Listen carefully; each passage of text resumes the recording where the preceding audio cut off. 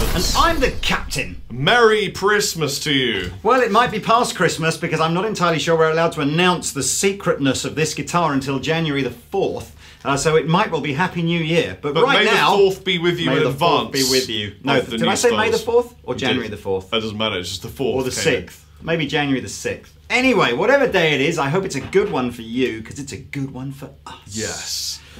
Uh, I'm quite excited about this. Well, go on, tell me why. Well, because this is a new, this is the new CE, you see. And um, I see what you did there. it took me all of 10 minutes to come up with that beautiful Christmas concept for you. Um, it looks absolutely stunning, doesn't it? Shallow carve, McCarty switching, look at that bolt-on maple neck. It's it's a bolt-on Stunneroo. It's a bolt-on, I suppose, version of a Custom 24, and it looks and sounds and feels beautiful. Yeah.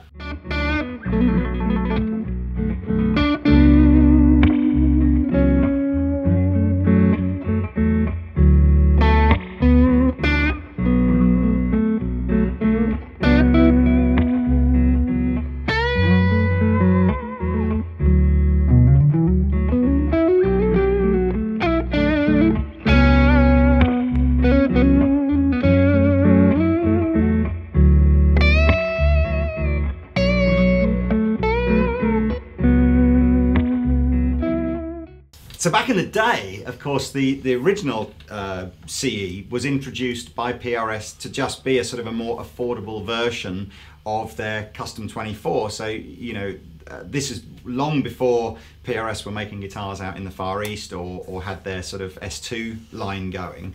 Um, and I, I'm not entirely sure why it was ever really discontinued, but it, it hasn't been in the catalogue for at least 10 years, I don't think. Um, but it's essentially all the same factory as the Custom 24 and all the other sort of USA core lines. So same build quality. Um, a lot of the hardware is the same.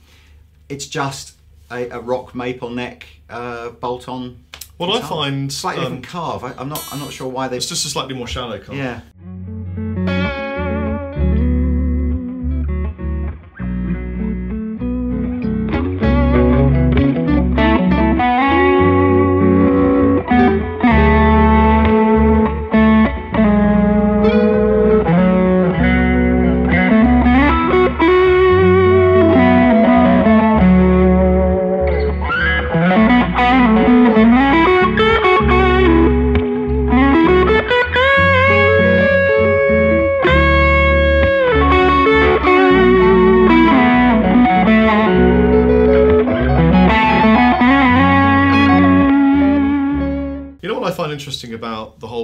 Thing is that a lot of guitar players have this preconceived notion that a neck through Hmm. is a, a better join, but really and truthfully, the, the concept of something being better is just really tonally subjective. And actually, a bolt-on neck can do all sorts of interesting things to the tone. It can give you a brighter, snappier tone, and especially when you when you marry that with, of course, a maple neck, and then a bit of play on Yeah. the top, and then you get a nice, bright, crisp, and even sounding. that's the Christmas link Ah. sound on your beautiful CE. So the Good bolt-on Wenceslas. doesn't when, make it a- when the neck was crisp and even. yeah, and and but so bolt-on shouldn't be thought of Yeah. as, as a you know a cheaper Well, thing. al- although ironically, of course, uh, I suspect when Leo Fender first designed the, you know, the Oh, it was just It- financial. It, was it was a cheap and easy He was way, and, and a way to do it that if you ever broke the neck, you could just bolt another one on. Yeah, but- Uh, do you know what I saw? I remember. I remember now going back to. I don't even think this was a video. I think because I think this is pre YouTube and everything, but so it probably was a catalog. Um, but there, the PRS. I remember seeing in a PRS catalog, they would take these rock maple necks, and they were so um, proud of how you know rigid and sturdy this this uh, rock maple was that they were using. They lent a neck up, so not on the guitar. They lent a neck up against like a a bench like this, and then just had a guy jump up and down on the neck to see it, and it, and it's like, no, didn't That's break. just you know. I couldn't even watch that. I know, but it was just so so there. It's a it's a cool guitar. Let so me give you some tonages. yes, then. do. So, well, the lovely PRS gentleman who who should not be named, who's here with us today, was saying that not a lot of people talk about what happens if you roll off the tone or roll off the volume and all that kind of stuff. So let me just show you so you can hear that being the case. I've got a T-Rex creamer through the loop giving us a little bit of reverb. That's what you're hearing there. Other than that, it's just the JCM 800 Lead Series 2203. Yep. 2203, there you go. I knew, I knew, I knew something about the amplifier. Here is Bridgy Bridgy Humbucker, full volume, full tone.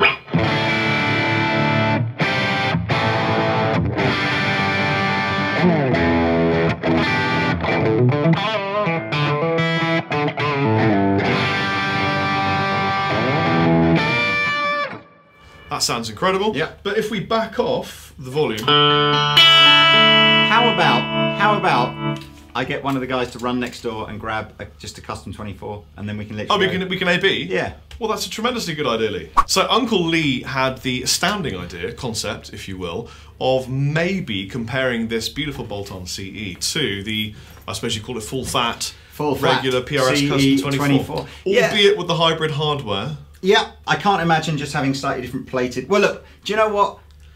You Let's leave can- that up to the you wonderful can debate viewers. forever and a day as to why you think these two guitars sound a bit different. But all I'm saying is we. Uh, this is. I wanted to, to be able to, rather than trying to explain how a CE24 and a custom 24 might sound different. We thought we'd just show you. So we picked uh, one with exactly the same pickups on it. Um, so the only real differences between these two guitars will be that this is a uh, set neck made of mahogany. Uh, and it has a five-way switch. And I've got a maple bolt-on. yeah, and I'm gonna. We're only going to use this on either the full bridge or the full hum, uh, full neck positions. So Yeah, that so, so it I'll should go- be like for like. It's G chord, bridge, check it out.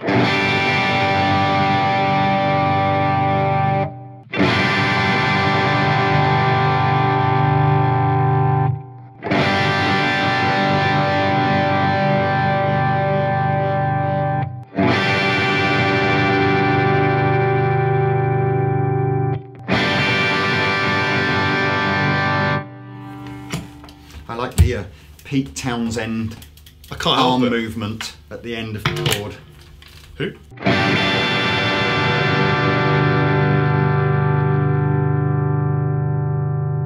Slightly more lower mids, Yeah, I and feel. to demonstrate that through a Fender clean sounding amplifier now on the neck pickup, here is another G chord for your oral pleasure. Aural pleasure. Hourly. Come on, buddy.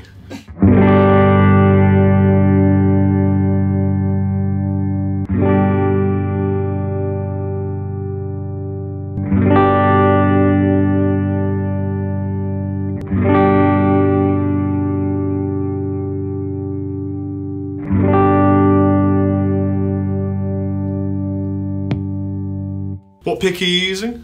Oh, that'll make all the difference. I am using a nylon Dunlop Jazz 3.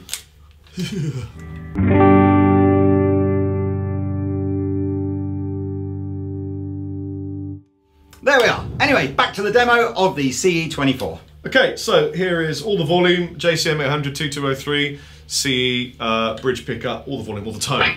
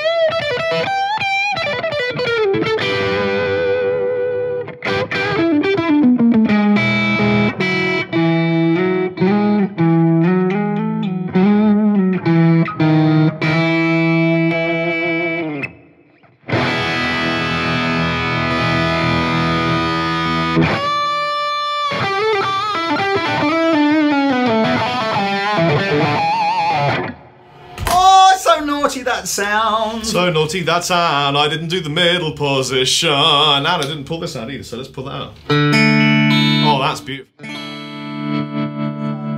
Is this a tap or a split? Is it a splat? It's a tap. It's a tap. It's a coil tap. Almost like a harpsichord.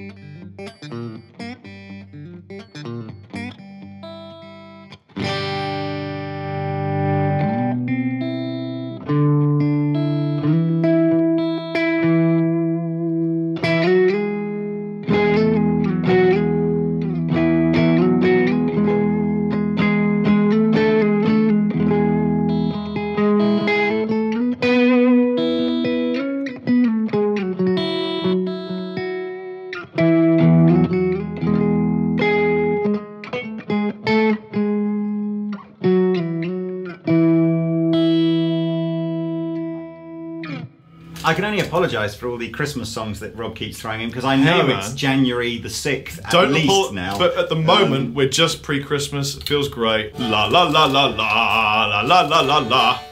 And I'm really enjoying this beautiful guitar. So these come in a multitude of beautiful colours, not quite as many different colours as you can get in the full in the custom 24 Would line. you call this? What do you call this? Green, forest I green, think teal, that is Trampas green. Trampas green. Yes, not as opposed to the gag is there. It's so on the tip of my tongue for a colour that might be red and sound a bit like Trampas. But I'm not going there. But you just did. In No, I didn't. of I didn't. wouldn't do. I didn't. Um, that's basically it uh, about this guitar. It's beautiful. We love it. Oh, and uh, the only thing left to tell you is the price. So the price is about seventeen hundred pounds. That was the price That was the price genie. Yeah. Um, so quite a bit less. You know, we're talking what eight or nine hundred pounds less than it would cost you. That's to pick probably up, uh, mostly to do, 24. mostly probably to do with the labour because obviously bolting on the neck is much easier than it is to Yeah, carve and and, the, file the, and the, fit neck, and glue. the neck and- doesn't have to be uh, finished in the way that this one is. And That's right. uh, sorry, in the Never take this one is. price as an indication of quality. Always take your own personal feel and opinion as, a, as an Yes, indication. I of- think you can take and anything that we say. price roughly as an indication of quality. But Rob is it helps. completely right. Until you've tried something yourself, try not to form an opinion. I've picked Um, up a few second-hand old dogs that look like a bunch of ass, and they've played great. I wonder what you were talking about then. Obviously, guitars. Guitars, obviously. Uh, anyway, look, so for more information on this guitar, I shall put a link in the description below. You can go and find out more. But it's glorious and wonderful and probably in the shops already. Oh, I've been Rob No, Chapman. wait, wait. Oh. Thank you so much for waiting. We've decided to combine two PRS uh, reviews in this one video. Um, and they're very, very different guitars. So if you've been sitting there going, I've been waiting for the, the, the baritone demo part of this for the last 15 minutes, That's then the baritone. Barry's tone, absolutely. Um, so there are two models for 2016 from PRS that are going to be baritones. There's this one, which is called the uh, 277 Semi, I think it's called, or something along those lines. Rob, these I can hear it back of the class. you said Semi. um, and it is a, a, a, a 27.7 inch scale length baritone tuned to B with enormous 14 to strings on it. 68. 14 to 68 strings as standard, so pretty heavy old strings. Some of the stuff on here you'll notice from other, uh, you know, this is the, the type of hardtail that I've seen used on other PRS SE guitars before. Beautiful, you know, semi-hollow guitar, regular kind of six string feeling neck, um, but incredible tones. Now, what I like about this, uh, I'll tell you about. So there's another baritone coming, a more conventional two humbucker. These are P90s. So uh, two humbucker non-semi uh, coming, which I suspect will appeal to the, the guys that just want to play with lots of gain on their amplifier and do kind of djenty. But the reason I picked this one is this is kind of more just for the guy that It's way more you. it's way more me. So this is just about having. Lee's uh, written something which I think is beautiful, which Well, we- he's now going to play to. We jammed that, didn't we?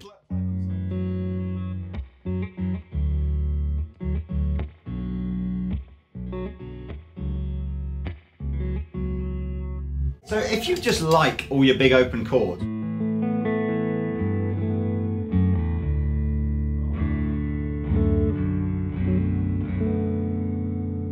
And you need lots of reverb. In fact, I'm going to turn my reverb up on this Gigantamo. Is that reverb? Yeah. Uh, and just kind of get these epic sort of, I don't know,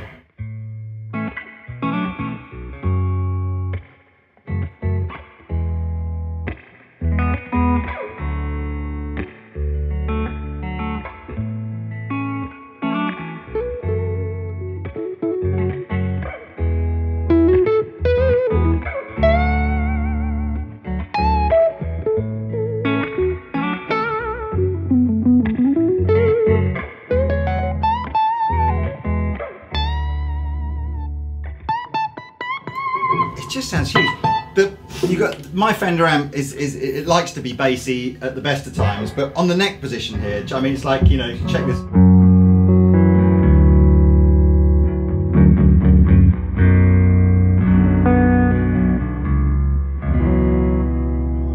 I wish two things. I wish three things. I wish peace upon the world, the end of whale hunting, Yes. some other things I probably shouldn't say. But also, I wish Alison Moyet would walk in and start singing over you playing that, or Adele. And I wish that the YouTube people, through their screens, would feel the low end rumbling their bellies. Yeah, I suspect if you're listening to this on your iPhone, uh, you will not be doing this guitar justice. So if Nah. you've got some headphones or some big speakers at home, try it through this. But so this is glorious. If you've never played a baritone before, um, I don't find the extra extra scale length terribly uh, weird. You know, it's it's it's um, obviously the point of the extra scale length is to allow me to use these incredibly low tuned strings, but still have the tension in the string. You're in B Um, standard, aren't you? I'm in B, yes.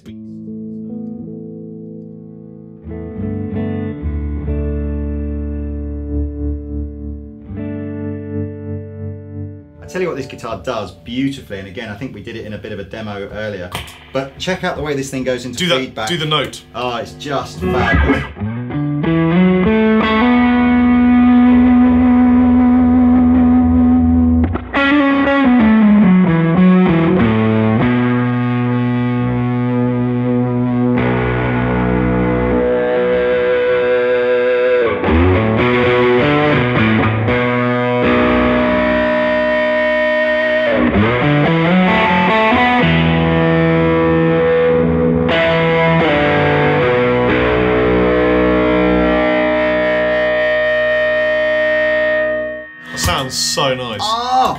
Can I have a little? Can I have a little yeah, touch there? so it's kind of.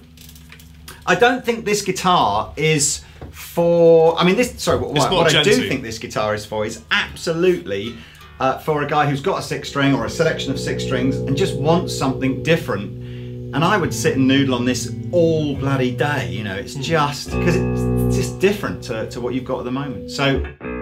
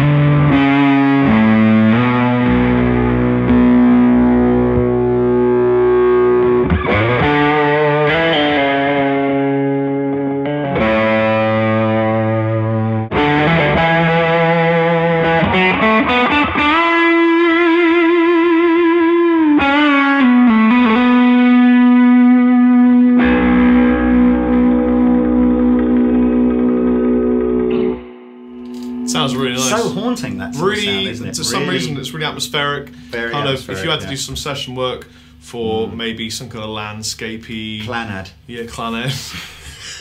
Enya, any of those kind of bands. I was thinking the Mad Max kind of ambient, chilled scenes, which Yeah. is landscapes, big It's spaces. just, it's kind of weird. Bearing in mind that this is essentially it's a six-string guitar. All the tuning intervals are the same as a you know a regular guitar, uh, but it just makes you play everything differently. You know, it makes you want to slow down, just allow the notes to, to swell and ring. And I like this a lot. These are going to be about 650, 700, something like that. Again, I'll put a link in the description below. There are two colours at the moment. and also, Um, there's a unicorn. Oh! And don't forget, there is a, uh, you know, for you guys that are going, do you know what? The, the whole P90 thing with the semi acoustic, I don't really want that vibe. Uh, there is just a solid full humbucker version uh, and being announced. Uh, at the moment, it hasn't been announced. So I'm guessing by the time this video goes live, it will have been. But I'll put a link in the description below as well. As well, I've been Rob Chapman. And I've been Baritone Lee. Bye.